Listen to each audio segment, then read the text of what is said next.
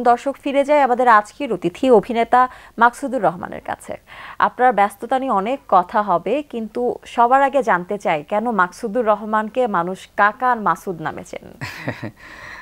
আসলে আমি চারুনিরম থিয়েটার থেকে যুক্ত তো। চারুনিরম থিয়েটারে থাকা অবস্থায় আমার এখানে অনেক ভাই ব্রাদার আছে, বড় ভাই। সবাই আমাকে একটা ক্যারেক্টার থেকে তারপরে কাকা নাম শুরু করল। এই আস্তে আস্তে কাকা নাম থেকে আস্তে কাকা নাম প্রচার শুরু হয়ে গেল। এক পর্যায়ে গিয়ে অনেক দিন পর হ্যাঁ আমি নিজেই এটা দেখলাম সবাই এই নামই আমাকে ডাকতেছে। আপনার অভিনয় শুরু হয়েছিল চারু নিরমের সাথে। তো চারু নিরমের আগে কি কখনো কাজ করা হয়েছে কিনা? গ্রামের বাড়ি ভোলা। ভোলা দৌলতখানে আমার জন্ম। ওখান থেকে আমি নাইনটি ফাইভে ঢাকা চলে আসি। আসার পর দীর্ঘদিন আমি আমার ব্যবসার সাথে যুক্ত ছিলাম। ব্যবসায়িক কিছু উত্থান পতনের মধ্য দিয়ে অনেক দিন কেটে যায়। তারপরে এক পর্যায়ে আমি চারুনিরম থিয়েটারের সাথে যুক্ত হই। আমার গুরু শ্রদ্ধ গাজী রাকায়েত স্যারের হাত ধরে আমি মঞ্চে প্রবেশ করি অভিনয় জীবন শুরু হয়। তারপর থেকে মঞ্চে যতগুলো চারুনিরম থিয়েটারের প্রযোজনা আছে প্রত্যেকটা প্রযোজনাই আমি অভিনয় করার সুযোগ পাই। এখনও কি মঞ্চের সাথে কাজ করা হচ্ছে? দুই হাজার উনিশ শেষের দিকে এসে বিশে লকডাউন পর্যন্ত মঞ্চ চালু ছিল সেই পর্যন্ত অবধি আমি মঞ্চে ছিলাম। এবং মঞ্চের প্রযোজনার মধ্যে যেরকম অবাক দেশ বুড়ো বুড়ো চরিত্রটা আমি করতাম। শেষ নবাবের একটা প্রযোজনা ছিল, সেখানে আমি জগৎ সেট অভিনয় করতাম। নিতাই একটা শরত্তর মেঘের একটা প্রযোজনা আছে, চারুনিরম থিয়েটারের। সেখানে আমি নিতাই চরিত্র অভিনয় করতাম। চারুনিরম থিয়েটারের প্রথম যে পতনাটক সেটাতে আমি প্রধান চরিত্র অভিনয় করার সুযোগ পেয়েছি। এক প্রফেশন থেকে আরেক প্রফেশনে যাওয়া, এটা একটা মানে অনেক চ্যালেঞ্জের বিষয় ছিল। চ্যালেঞ্জটা আপনি নিয়েছিলেন। কেন নিয়েছিলেন? এটা আসলে আমাকে ওই সময় আমার ব্যবসার যখন একটা উত্থানের মধ্য দিয়ে আমি পতনের মধ্য দিয়ে দিন কাটাই তখন আমাকে হঠাৎ একটা মানে একটা ডিপ্রেশনের মধ্যে আমি দিন কাটাচ্ছিলাম। তখন আমি একটু নিজেকে কি কি মানে মনে করেছিলাম যে হয়তো একটু আমি একটু ফ্রেশ থাকব, মন, মানসিকতা একটু মানে সাংস্কৃতিক মনে হব, এটা ডিসিশন নিতে যে হঠাৎ করে হয়ে গেছে। তো বাইদে ভাই আমি গাজী রাকাত স্যারের দলের একদিন আমি ইন্টারভিউ দেই। ইন্টারভিউ দেওয়ার পর আমি ওখানে, আমি ভর্তি হই, হওয়ার পরে আমি স্কুলিংটা করি। পরে স্যার আমাকে থিয়েটারের সাথে যুক্ত করেন। এবং চারুনিরম থিয়েটারটা আসলে যে, যেই মুহূর্ত থেকে থিয়েটার শুরু করেছেন, সেই থেকেই আমি কিন্তু চারুনিরম থেকে অবধি যুক্ত। আমার বারোতম বেশ দিয়ে চারু চারুনিরমের থিয়েটারের জন্ম। তো ওইখান থেকে শুরু। আর চারুনিরম থিয়েটারের মাধ্যমেই আমার আসলে এই অভিনয়ের আশা ওইটাই প্রধান একদম আমি বলতে পারি যে তা না হলে হয়তো আমার অভিনয় জগতে আসা হতো না। এটা তো অবশ্যই একটা সৌভাগ্যের বিষয়। যারা মঞ্চে কাজ করেন তার অভিনয়ের নারী নক্ষত্র জানেন অনেকেই বলে থাকেন যে একজন অভিনয় শিল্পীকে গড়ার জন্য মঞ্চের ভূমিকা অনেক বেশি। আর আপনাকে যেভাবে আমরা অভিনেতা হিসেবে পেয়েছি সেখানটায় বলা যায় যে চারুনিরম অনেক গুরুত্বপূর্ণ ভূমিকা রেখেছে আপনার জীবনে। তো সেই কাজ করা শুরু থেকে এখন তো আপনি বিজ্ঞাপনে অনেক জনপ্রিয় এবং আমরা যদি গত বছরের পরিসংখ্যানে যাই আপনি বোধহয় অনেক বিজ্ঞাপনে কাজ করেছেন। সংখ্যাটা কত? আমি, বলতে গেলে আমি সাইটের ঊর্ধ্বে এবং প্রতি মাসেই আমার রানিং একদম বিজ্ঞাপন আছি নাটকের চেয়ে হিসাব করলে যে বিজ্ঞাপনে আমি বেশি কাজ করতেছি, ওয়েব সিরিজে কাজ করতেছি।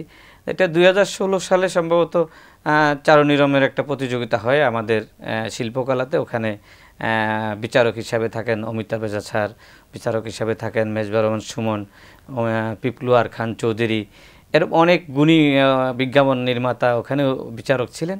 সেখানে আমি অভিনয় প্রতিযোগিতায় আমি প্রথম হই চল্লিশটা টিমের মধ্যে। এটা কত সালের এটা দুই হাজার ষোলো। ষোলো থেকে। তারপর আমি বিকাশের নগদ বিকাশের বিজ্ঞাপন করি এই বিজ্ঞাপন দিয়ে আমার শুরু। তারপর স্যার একটা প্রোডাকশন বানাইছেন যে আমাদের রাকায়েত স্যার তিনি একটা নাটক বানিয়েছেন মধুগাছ নাটকের নাম। উনি নিজেই লেখা নিজে এবং পরিচালক। ওটাতে আমি প্রথম নাটকে অভিনয় করি। আমার অভিনয়টা যদি আমি যতটুকু আমি মনে করি শিখতে পেরেছি এটা আমার মঞ্চ দিয়ে শেখা এবং আমি এখানে বলব সবটুকুই আমার রাকায়েত স্যারের এই অবদান। এবং উনি তো অত্যন্ত গুণী মানুষ আপনারা জানেন ইতিমধ্যে উনি যে মৃত্তিকা মায়া সিনেমা করেছেন জাতীয় চলচ্চিত্র পুরস্কার পেয়েছেন এবং গোর অসংখ্য পুরস্কার পেয়েছেন আপনারা জানেনই। তো আমি এরকম একটা গুণী মানুষের কাছে থাকাটা বা আমি মানে নিজেকে এটাকে আমি খুব গর্ববোধ করি যে আমি একজন এই যে বহুমাত্রিক জায়গায় কাজ করা হচ্ছে একজন অভিনেতাকে অনেক অনেক চরিত্র ফুটিয়ে তুলতে হয় এবং এটা যেটা যেটা আপনি বলছিলেন যে বিজ্ঞাপনে কাজ হচ্ছে অনেক বেশি। বিজ্ঞাপন তো ছোট্ট একটা গল্প ছোট্ট একটা সময় দর্শকদের সামনে আসার সুযোগ করে দেয়। এটার প্রস্তুতিটা আসলে অনেক বেশি থাকে একজন অভিনেতার জন্য। আপনি নিজেকে কীভাবে এতগুলো চরিত্রের জন্য প্রস্তুত করেছেন? চেষ্টা করতেছি যে মানে যখন যেই চরিত্রটা আমাকে দেওয়া হয় সেই চরিত্রটাকে আমি মানে মন থেকে আসলে যে কোনো কাজেই মন থেকে যদি ভালো লাগা, ভালোবাসা থাকে, আর একটু চিন্তা করা যায় যে কীভাবে আসলে চরিত্রটা আমি করব। তখন এটা ভাবতে হয়, ভাবি যখন যেই চরিত্র চেষ্টা করি চরিত্রটা করার জন্য বিজ্ঞাপনে তো আপনার মানে অসংখ্য বিজ্ঞাপন করছে সেটা বললে একেবারেই লম্বা serial Nagad bKash, Banglalink Airtel Robi, Singer, তারপরে Anwar cement sheet fresh cement এসানজি stainless steel এভাবে একদম প্রতিনিয়তই বিজ্ঞাপনের কাজ করে যাচ্ছি। সরকারি কাজের মধ্যে ত্রিপল থ্রি ত্রিপল নাইন তারপরে ইউএনডিপি ইউএনএসএফ দুর্নীতি দমন কমিশন, এভাবে আমি সরকারি তথ্যমূলক অনেক কাজ করার সুযোগ আমি পেয়েছি। সেই ক্ষেত্রে আমি বিজ্ঞাপনের কাজটা আমার জন্য খুবই মানে খুব বেশি থাকে মাসে। বিজ্ঞাপন নাটক সিনেমা সব মাধ্যমে কাজ করছেন। আপনার কাছে স্বাচ্ছন্দ্যের জায়গা কোনটি? সবচেয়ে বেশি স্বাচ্ছন্দ্য বোধ করি মনে করি যে মঞ্চের থেকে যে কাজটা যে কাজ করে যে তৃপ্তি পাওয়া সেটা তো মঞ্চের উপরে আর আমি কিছু মনে করি ওয়েব সিরিজেও কাজ করেছেন। এই জায়গায় কাজের অভিজ্ঞতা বোধহয় কিছুটা ভিন্ন। হ্যাঁ জি ওয়েব সিরিজ এক আলোচিত মহানগর এই আশফাক নিপুণ ভাই বানিয়েছেন। এটাতে কাজ করার সুযোগ হয়েছে। তারপরে আরও কত এর মধ্যে পর্দার আড়ালে একটি ওয়েব ফিল্ম যেটা ফারভেজ আমিন ভাই বানিয়েছেন। ইতিমধ্যে দশ দিনের শুটিং শেষ করে আসলাম। আর রাফিবের কথা তো বললামই, তার শুটিং এখন রানিং আজ পর্যন্ত অবধি চলতেই থাকবে দশ তারিখ পর্যন্ত। ওয়েব ফিল্মে আমি আরও অনেক ওয়েব ফিল্মে কাজ করার সুযোগ হয়েছে, যেগুলা মানে এখন তো ওটিটি প্ল্যাটের কাজে অনেক সুযোগ। তো ওটা ভিন্নতা একটা আছে কাজের। কোয়ালিটি মেনটেন করে ওরা কাজ করে এবং বিগ বাজেটের কাজ।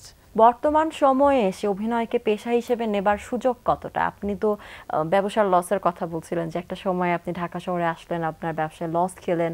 এই- লসগুলো কাটিয়ে আবার ব্যবসার দিকে যাওয়াটা আপনার জন্য অনেক কঠিন ছিল। তো অভিনয় জীবনে যখন এলেন এবং পেশা হিসেবে অভিনয়কে বেছে নিলেন, সেই জায়গাটায় তো অনেক সময় নিজের প্রত্যাশা অনুযায়ী প্রাপ্তিটা হয় না। এখানটা কি আপনাকে, আপনার মনে হয় যে আপনি লসে পড়ছেন? হ্যাঁ বিজনেস লস করার পরে যখন আমি এই অভিনয় জগতে আহ, প্রবেশ করি। এখন আমার কাছে এটা একটা প্রফেশনালি জায়গায় আস্তে আস্তে পৌঁছে গেছে। মানে আমার কাছে এই কাজটা এখন করতে ভালো লাগে। কারণ আমি মঞ্চ করে আসছি একটা শিল্পকে ভালোবেসে ফেলেছি নিজের ভিতরে একটা সংস্কৃতি বোধ চলে আসছে আমি মনে করি আর কি। তো আমার কাছে এখন প্রাপ্তি তো কাজের মাধ্যমেই প্রাপ্তি তৃপ্তি থাকবে। কিছু কাজ করলে প্রাপ্তি তৃপ্তি আসে। যেমন আমি এর মধ্যে এলজি বাটারফ্লাইয়ের মালিক এম এ মান্নান খান মারা গেছেন গত বিশ সালে, দুই হাজার। ওনার বায়োগ্রাফিটা আমি কাজ করেছি। এটা আমার কাছে একটা তৃপ্তির কাজ, প্রাপ্তির কাজ মনে হলো যে কাজ সবগুলো আসলে তৃপ্তি পাওয়া যায় না। একজন অভিনেতার জন্য তো স্বপ্নের অনেক চরিত্র থাকে। আপনি তো এর মধ্যে বিজ্ঞাপনেই অনেক চরিত্র করে ফেলেছেন। এছাড়া মঞ্চে কাজ করেছেন নাটকে কাজ করেছেন web film cinema short film সব কিছুতেই কাজ করা হচ্ছে। কোন চরিত্রটি এখন পর্যন্ত আপনাকে খুব টেনেছে বা কোন চরিত্রের জন্য আপনি অধীর অপেক্ষায় বসে আছেন? ক্যারেক্টার অভিনয়গুলো বেশি করি যেগুলো পজিটিভ এবং পজিটিভ চরিত্র করতে আমার ভালো লাগে। আচ্ছা। সেই ক্ষেত্রে বাবা চরিত্র করি অনেক সময় বা একটা টাচিং গল্পের যদি সেটা বড় ভাই হয় মানে গল্পের হিরো। ওই নায়কের হিরো না গল্পের হিরোতে আমি পজিটিভ ক্যারেক্টার করতে আমার খুব ভালো লাগে। কখনো যদি কোনো নেতিবাচক চরিত্রের জন্য আপনাকে ডাকা হয় তাহলে কি আপনি সেই চরিত্রকে না করবেন? ভালো গল্প হয় তাহলে আমি সেই নেগেটিভ চরিত্রটা করব। যেহেতু একজন অভিনেতার তো সব কিছুই করতে হয়। সেখানে নেগেটিভও করতে হয় পজিটিভও করতে হয়। তো আমার এই পর্যন্ত পজিটিভগুলোই বেশি কাজ করা তার মধ্যে যদি নেগেটিভ চরিত্র আসে সেটা গল্পটা ভালো হয়। সেই গল্প নিয়ে যদি কোনো রকম মানে এরকম বিতর্কিত না থাকে তাহলে আমার নেগেটিভ করতে সমস্যা নেই। নানা সময় নানা চরিত্রে আপনাকে দেখা যাচ্ছে। পরিবারের কি অনুভূতি থাকে? পরিবার আপনাকে কীভাবে নিয়েছে? প্রথমে অনেক বাধা থাকেই। কারণ আমাদের ফ্যামিলিতে আসলে এই শিল্পী সংস্কৃতির মধ্যে কেউ নেই। তো আমাকে থিয়েটারটা করতে হয়েছে অনেক কষ্ট করে প্রথম প্রথম মানে না জানিয়ে তারপর একটা পর্যায়ে গিয়ে যখন বলছি যে আমি অভিনয় করতেছি, এটা একটা অবিশ্বাস্য সবার কাছে ছিল যে আমি অভিনয় করব বা আমি অভিনয় করতেছি। এটা পরিবার ওভাবে নেয়নি। তারপরে এখন করতেছি আস্তে আস্তে আস্তে আস্তে একটা যখন একটু টিভিতে স্ক্রিনে দেখতেছে, তখন হয়তো একটু ভালো লাগার জায়গা তৈরি হয়েছে বাট হয়তো বা এখন একটু সাপোর্ট মানে ফ্যামিলি থেকে পাওয়া যায়। তরুণরা অনেকে অভিনয় করছে আপনি দেখছেন। আপনি তো মঞ্চের সাথে যেহেতু অনেকটা সময় থেকেছেন তো সেই জায়গা থেকে বর্তমান সময়ের তরুণ অভিনেতা যারা আছেন তাদের জন্য আপনার কি বলার আছে? অভিনেতা হতে হবে এমন কোনো কথা নেই। একটা মানুষ ভালো মানুষ হওয়া শিল্পের সাথে যুক্ত হওয়া সংস্কৃতির সাথে যুক্ত হওয়া সারা পৃথিবীতেই মানুষ সংস্কৃতির সাথে যুক্ত আছে। শিল্প সংস্কৃতিকে নিয়ে আপনার ভবিষ্যৎ পরিকল্পনা কি? অভিনয়টার সাথেই আমি যুক্ত থাকব এবং আমি নিজেকে অভিনয়ের সাথে যুক্ত থেকে নিজেকে আরেকটু তৈরি করে এইভাবেই বেঁচে থাকতে চাই আর কি। অভিনয় জীবনে আপনার পথ চলা সুন্দর হোক সাবলীল হোক এবং সেই সাথে অভিনয় নিয়ে যেভাবে পথ চলছেন সেটা আরও সমৃদ্ধ হোক আপনার অনেক কাজের মাধ্যমে। আপনার জন্য অনেক অনেক শুভকামনা। দর্শকদের উদ্দেশ্য যদি কিছু বলার থাকে। দর্শক যদি না থাকে তাহলে তো মানে দর্শক একটা হলো মূল শক্তি। তো দর্শক থাকলে একজন শিল্প সংস্কৃতিটা আরও আমি মনে করি আরও শক্তিশালী হবে। দর্শকের উদ্দেশ্য বলব, আপনারা হলে গিয়ে সিনেমা দেখবেন, বাংলা নাটক দেখবেন, সাংস্কৃতিক মনে হবেন প্রিয় দর্শক, এতক্ষণ কথা হচ্ছিল অতিথির সঙ্গে। এবার সময় হলো বিদায় নেবার। আমাদের অনুষ্ঠান সম্পর্কে আপনার যে কোনো মতামত, পরামর্শ জানাতে লিখুন এই ঠিকানায়। প্রযোজক দিন প্রতিদিন বাংলা ভিশন, নূর টাওয়ার, একশো দশ বীরুত্তম সিআর দত্ত রোড, ঢাকা এক দুই শূন্য পাঁচ। ফোন নয় ছয় তিন দুই শূন্য তিন শূন্য থেকে চার। আমাদের ইমেল অ্যাড্রেস দিন Protidin at Banglavision dot TV পবিত্র আল কোরআনে বলা আছে, যখন আমি তোমাদের কাছ থেকে অঙ্গীকার নিলাম যে, তোমরা পরস্পর খুনাখুনি করবে না এবং নিজেদেরকে দেশ থেকে বহিষ্কার করবে না, তখন তোমরা তা স্বীকার করেছিলে এবং তোমরা তার সাক্ষ্য দিচ্ছিলে। দর্শক, সবাই ভালো থাকুন, সুস্থ ও সুন্দর থাকুন। আজ সারাটা দিন সবার জন্য শুভ ও কল্যাণময় হোক।